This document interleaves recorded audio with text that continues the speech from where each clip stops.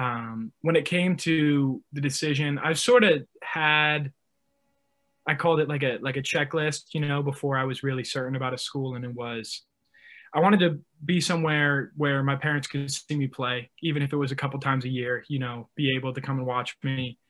I wanted to go to a place where it wasn't going to be a financial burden on my family, you know, that um, because that was, you know, that's a big reason why I play sports and take it so seriously. Um, and the last one is that I wanted to go somewhere where I could make an impact early on. Um, and it seemed like UP was that for me. Um, and the other thing too is that I even saw this from, I think it was the Boston College quarterback who was a Notre Dame transfer. And he said that I went to Notre Dame for the brand, but I went to BC for the people. And mm-hmm. I wanted to keep that sort of thing in mind when I chose my school and I wanted to make sure that I was going somewhere where I really trusted the people, you know, that were going to be taking care of me for four years um, or three years, hopefully. But um, so that was uh, that was sort of the decision, and I love the people at UP. You know, they made me feel like it was home.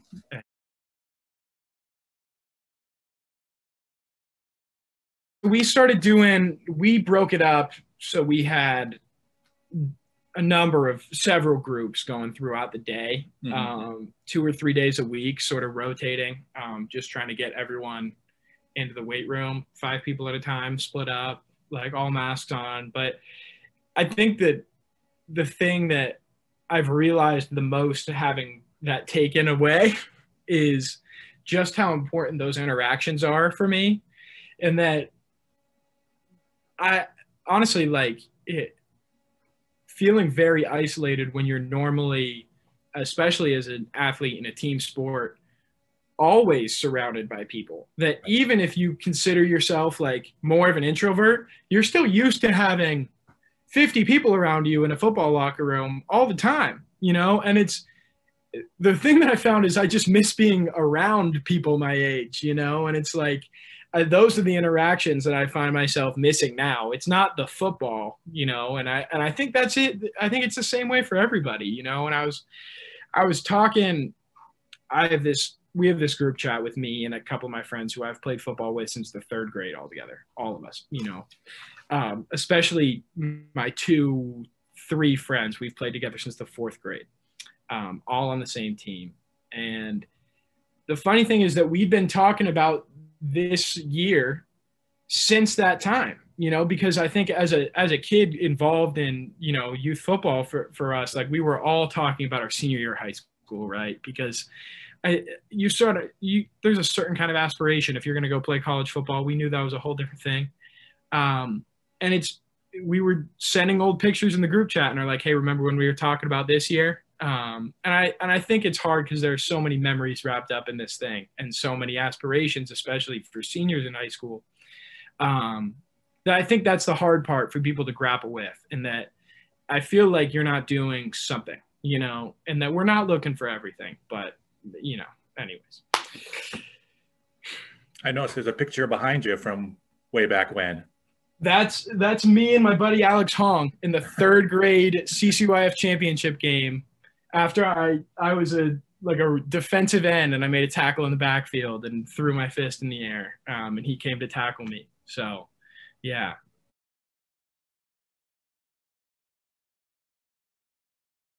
Schools, it the thing that I found is that I've I've never I'm a pretty motivated student, you know, throughout yeah. high school, and that I've I've never been someone, even though I've been in AP classes, who has dealt with enormous amounts of stress in terms of work and in, in terms of even when I've had mountains of work that I've had to do, it's never been an overwhelming thing for me. Mm. And I think the reason behind that is that I've never had to be like my own self motivator when it came to school, you know, because it was just for me, I did school for six hours a day. And in terms of you know, thinking about that as an athlete, it's like if I worked out for if I had six hours a day where I had nothing to do but like this is your workout time, like you're gonna work out enough. You know what I'm saying? Right. And so when it came to school, it's like I never had to find time to do school. And now it, it's difficult with the online school staying connected and feeling like you have a place to do it for me. And so it's just the stress has been multiplied, you know, by a factor of 10 it, when it's like just because I I'm not in the space where you're supposed to do it, and I I never really thought that the physical space was so important, but I'm someone that hated homework in the same way. You know, I was a good student, but I hated homework. And I think that just had to do with the space that I was in. And I think that's that way for so many kids in that I, I think they learning for them is hard in their home. And that's why I think a lot, almost every kid learns better at school than they do at home, you know? So it, so, it's been a struggle for sure. So, so um, you hate, so you hated homework. So you typically try to get everything done at school, so you wouldn't right. have homework. And now exactly. that's pretty much all you have. Exactly. Um, and and I think I there's a large population of kids like that. Um, and I don't think I'm alone in that. And then I was always a good student. And when I had homework, I would I would power through. But now you're looking at you know you get done with a live class in which it, it's hard to do a worksheet like you would with you and a teacher yeah. um, just in the same room. And, and i feel like that's how i learned a lot of times. It's like no listen to me talk for an hour and then in your on-demand class tomorrow you're going to do an assignment based on what i just said. Instead of doing it 15 minutes after i said it'd be a day later it's just this isn't how learning has worked for kids. And it's like there's a reason why we did it the way we did it you know um, so that it, has been a struggle and it's definitely been a source of anxiety and stress. Um, and it's hard because anxiety and stress for me have always been, I've always been able to find an outlet in sports for that, right? Because uh, I'm stressing out at school, you know, I have to get good grades. I'm looking to get a scholarship and no school wants to offer the kid with a you know whatever 1.0 so um, i'm trying to give myself as many opportunities as I, as I can with my work in the classroom. And it's like okay finally the school ends and i can go run around and hit somebody on a football field. Or i can go and swing a bat as hard as i can at a baseball you know?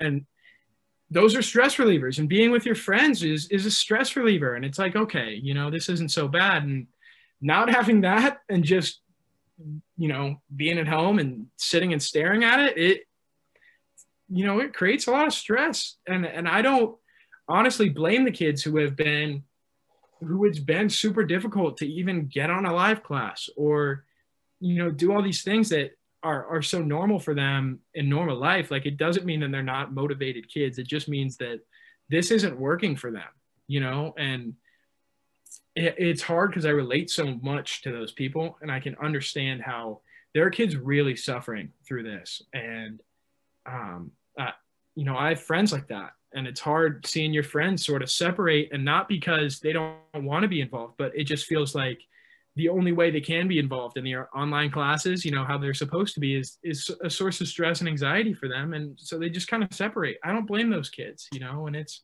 it's hard seeing that.